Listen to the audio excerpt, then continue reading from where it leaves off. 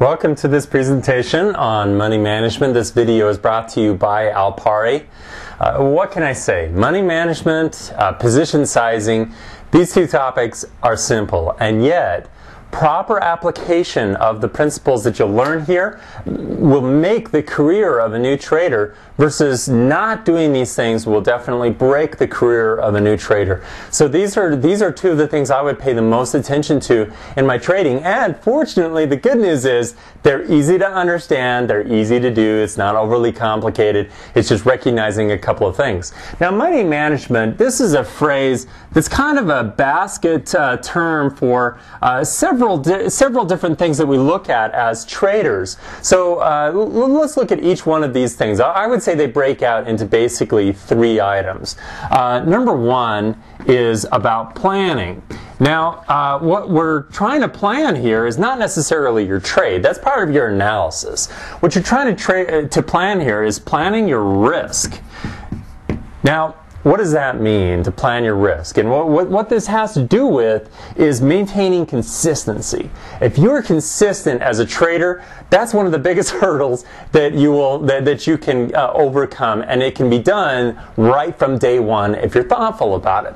So planning your risk means essentially how much of my portfolio am I willing to risk in any one position. Now, a lot of traders I hear say, "Well, you know what, what's what's normal? What should I be risking?" It's a personal preference. It has to do with your risk tolerance.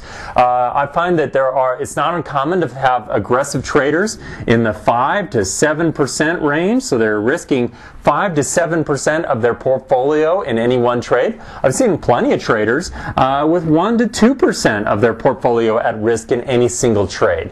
One of the things you'll find in common is that the less they have at risk, typically the more positions you have on at a time. Uh, the more you have at risk, inherently, you're going to have the ability to take on fewer positions, which gets to a third point here in a minute. The, now, with uh, the, the percentage that I have at risk, it's, this is something that you'll probably begin to refine over time. And I usually suggest uh, err on the side of caution and go with the low amount uh, initially. And don't start to ramp up too fast until you've got some good experience behind you.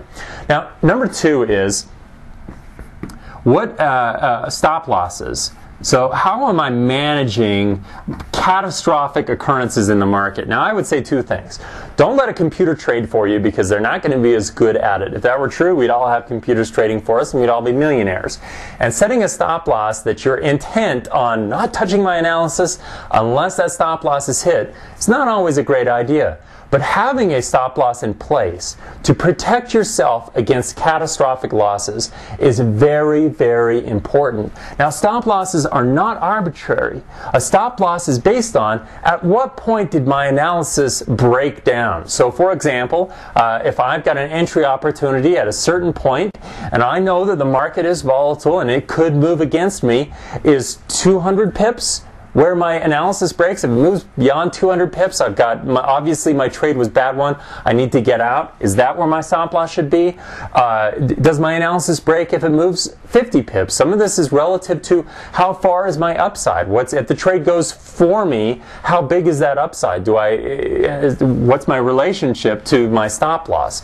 So it will vary based on what your analysis is. What's important here is that if the unexpected, the unknown unknowns, those those big breakouts that none of us can predict uh, happens and it goes against you, you've got a emergency net here that catches your money if, if such a thing occurs. So it's really there for emergencies and shouldn't be uh, you shouldn't be trading without it.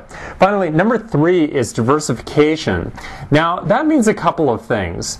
Uh, I find that traders oftentimes think that diversification uh, means that they should be in more than one capital market. So they should be investing in uh, stocks or uh, in um, uh, bonds and uh, in metals as well as currencies.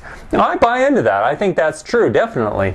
But it's, it's even diversification within an asset class. And in this case, we're in the Forex, so we're dealing with diversification in the Forex. Here's a classic example. Uh, going long, the euro uh, dollar and short, so we're long this one, and short the dollar franc is not diversified. These are this is essentially the same trade, uh, or it's going to be very, very correlated. So we want to avoid doing things like this because what we're doing is we're in unintentionally doubling our risk. Now, if everything works out well, that's great. But if everything works out very poorly, we've become inconsistent. And this is the real battle we're trying to fight. Versus if we were long the Euro USD and we were simultaneously trading uh, the pound, uh, the pound uh, yen, or um, the the CAD franc, we're now we're starting to get a little bit more uncorrelated. We're not we don't have the same kind of relationship amongst these three currency pairs that we do as we do between these two. So these are three basic principles around money management. Again, not very complicated. A lot of it is just knowing what we're doing in advance how much of our portfolio are we willing to risk at any one time?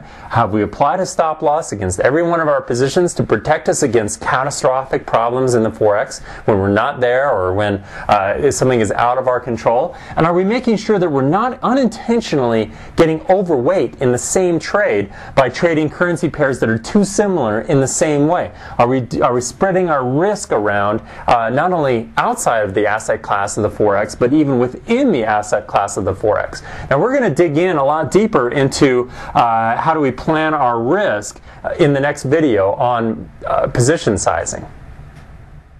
This video has been brought to you by Alpari.